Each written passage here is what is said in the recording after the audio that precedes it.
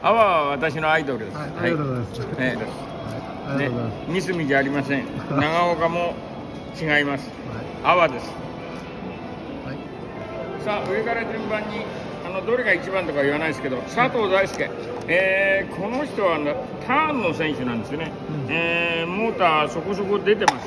ね、えー今朝の練習見てもそこそこいいですから、えー、権藤利光もいいですよ。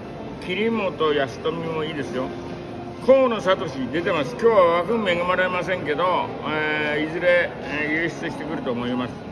えー小山勉、うん、いいですね、北川淳二、えー小坂直也、これ優勝候補ですね、えー一番いいのが高橋正夫ですね、あこのレース出てます。えーんで、金子龍太はちょっと落ちるんですけどね、鶴本もちょ枠に恵まれません、えー、梶野と大沢はちょっと1枚狙いを下げた方がいいと思うけど、まあ、一応ね、地元と群馬のね、大沢慎二の息子ですからね、そこそこやるとは思います。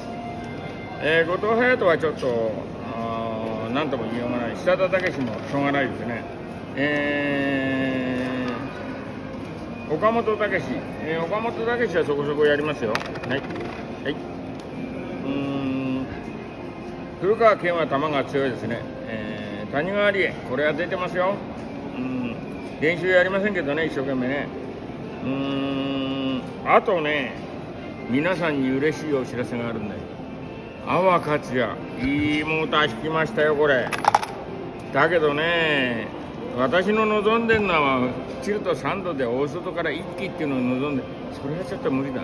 ただね、チルと1度までするかな、0度でもいいから、何しろスタート切って握ってほしい、変な差しやらないで。うん、でも、今の阿波は差し屋なんだよね。で6コースでよく頑張ってやってますよ、うん。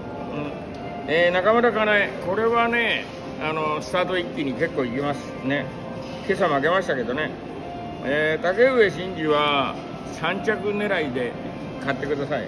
そこそこうまいですから、えー小野信樹、えー今小野逃げましたけどね、えーインコース引いた時だけですねあと富樫玲香は3球明けだからこのレースはお祝いで逃がしてもらうかもしれない以上ですそんなとこですはい了解です。アワーに期待してください。はいはい。